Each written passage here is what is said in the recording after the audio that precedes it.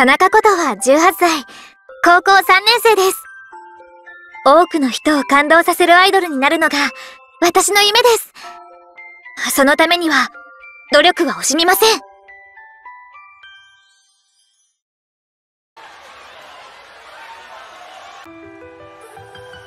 타나카 코토아는 아이돌 마스터 밀리언 라이브에선 보컬 타입, 시어터 데이즈에선 프린세스 타입으로 등장하는 아이돌로 주요 유닛은 장렬 소녀, Star Elements가 있습니다.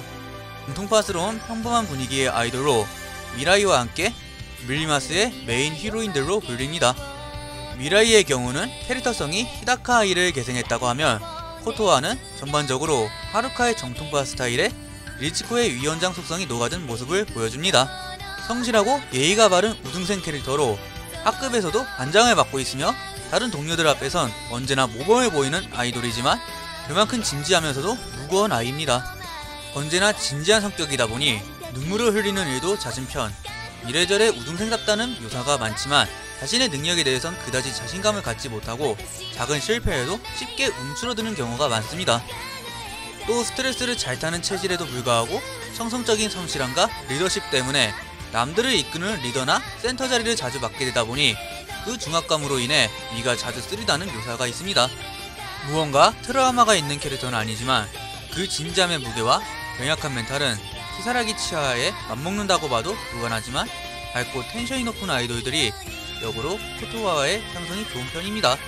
대개 이런 아이돌들이 지나친 텐션으로 인한 부주의를 코토하가 챙겨주는 반면 자신감이 부족해 침울해지는 코토와의 면모를 이들이 보완해주는 방식 대표적으로 코토와의 중화제 역할을 해주는 아이돌들이 스마바라 에레나와 토코로 메구미가 있습니다.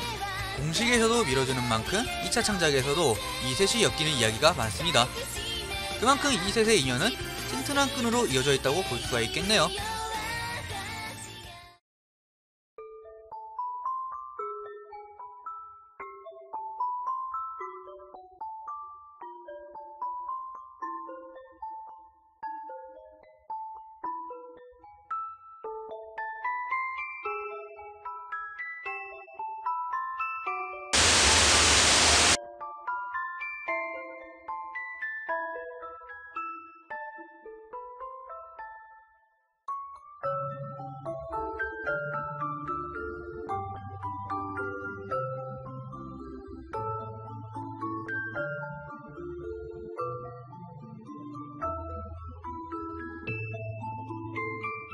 코토아를 대표하는 아이덴티티를 하나 꼽으라면 우등생과 위원장이라는 캐릭터성이 있지만 프로듀서에 대한 태도와 행동 또한 그녀를 대표하는 아이덴티티 중 하나입니다.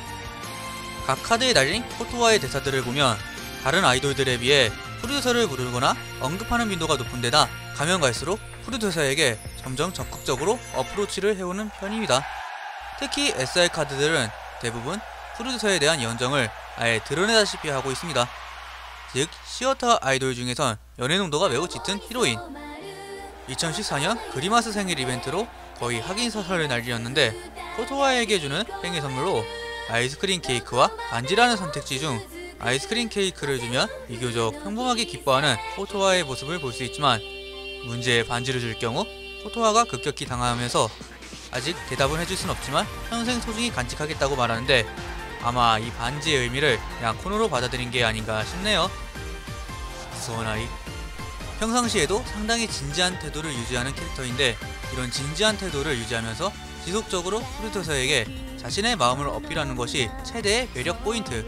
게다가 은근히 감성적이면서 눈물을 잘 흘리는 타입이라 그 시너지가 장난이 아닙니다.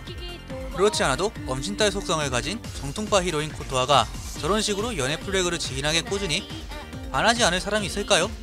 이러한 모습에 반해 코토아의 팬이 된 피들이 많으며 프로듀서와의 진지한 연애 관계를 다루는 2차 창작도 많은 편입니다. 얀데레 코토아의 담당 성우님으로는 타네다 리사씨로 소속은 모사와 사무소 소속이십니다.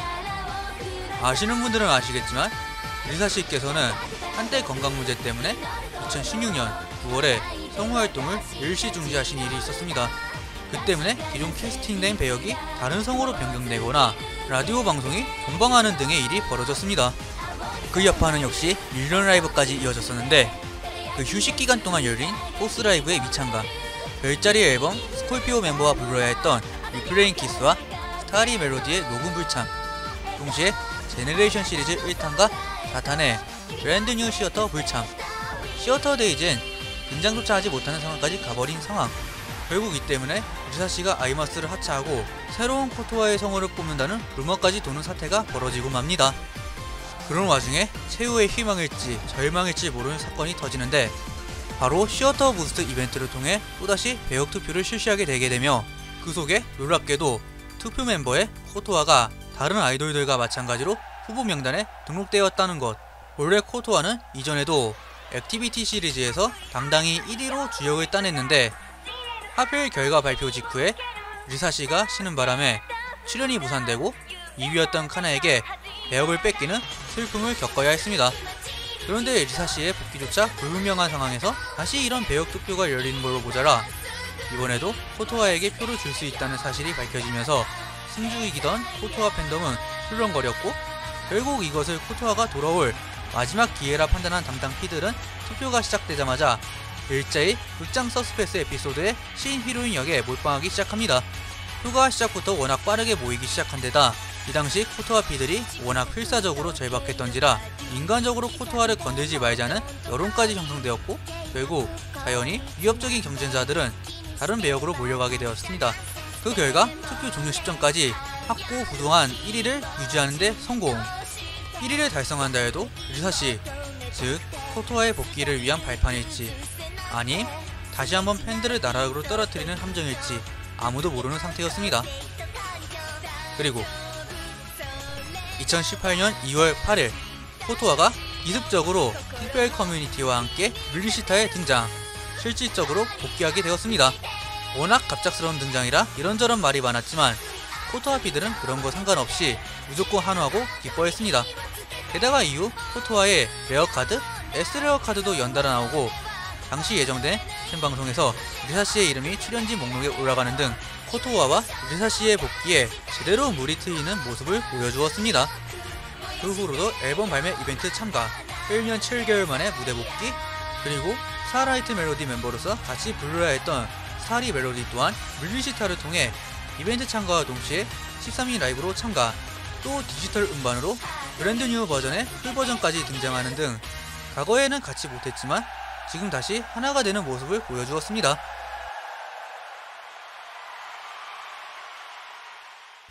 코토하의 노래들로는 솔로곡 Live Theater Parade 4탄의 아침 노을의 크레센도 Live Theater Harmony 6탄의 진정한 나 Master Sparkle 8탄의 실루엣 세 번째 곡 실루엣은 긴 부재 후에 복귀한 코토하가 받은 복귀곡이라고 할 수 있겠네요. 그룹 곡으로는 Live Theater Parade 4탄의 Blue Symphony Live Theater Harmony 6탄에 애타는 마음에 불을 붙이고 Live Theater Dreamings 6탄에 Understand Understand Theater Generation 17탄에선 Episode Tiara랑 Give Me Metaphor를 Theater Boost 3탄에선 Last Actress랑 Diamond Days를 그리고 Brand New 버전의 Starry Melody를 불렀습니다. 실루엣은 코토하의 긴 부재 후 복귀하고 나서 배정받은 첫 솔로곡으로 그만큼 운영 측에서도 여러모로 신경을 쓴 듯한 모습을 보여줍니다. 공식 PV에서도 여태까지 둘둘 하나 순으로 공개했던 타 앨범과 달리 8탄은 4명으로 둘둘 순이 아닌 둘 하나하나 순으로 단독샷을 주었으며 모든 스파클 솔로곡들 중 가장 맨 마지막에 배치되어 있습니다.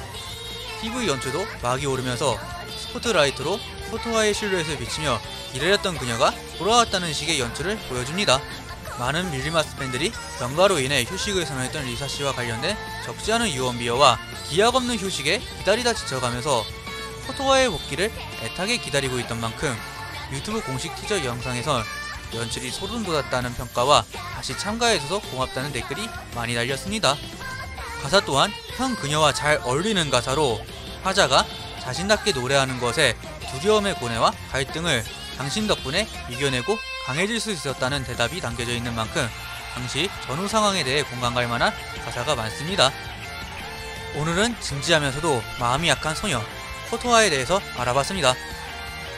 많은 일이 있었고 많은 고난이 있었지만 리사 씨와 함께 돌아와준 코토아 그저 고맙고 감사할 뿐입니다. 그럼 이번 영상 여기서 마치고 전 다음 영상에서 찾아오도록 하겠습니다. 그럼 안녕.